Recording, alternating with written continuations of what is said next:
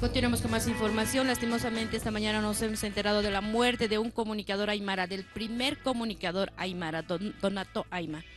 Ya establecemos rápidamente contacto con nuestra unidad móvil junto a Nora Mamani que se encuentra en la ciudad del Alto Carén.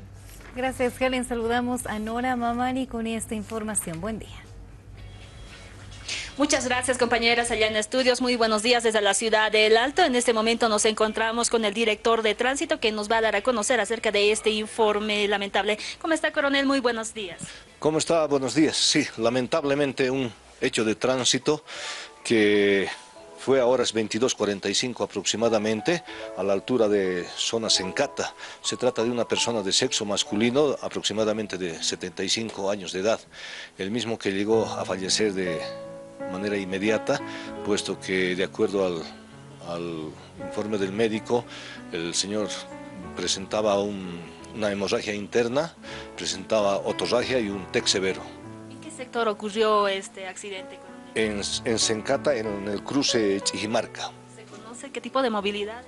Se desconoce porque ha sido un atropello a peatón con muerte y fuga, pero estamos realizando ya las investigaciones, la División Especial se está realizando el trabajo de investigación para poder dar con el autor. Bueno, de alguna manera esperaba movilidad en el sector, ¿qué se conoce? Mire, se desconoce puesto que en primera instancia habían sido los familiares quienes han trasladado al, al centro médico, pero ya el señor ya no estaba con vida. ¿Se confirma entonces el deceso del exministro de? Mire, en principio no teníamos conocimiento de quién se trataba, pero posteriormente y por los mismos familiares hemos podido saber que es el señor Donato Aima Rojas. Muchas gracias al coronel de tránsito, director de esta unidad acá de la ciudad del Alto, el coronel Manuel Zambrana, quien hacía conocer el informe de manera oficial sobre eh, la muerte del ex ministro de Educación y un comunicador aymara, Donato Aima.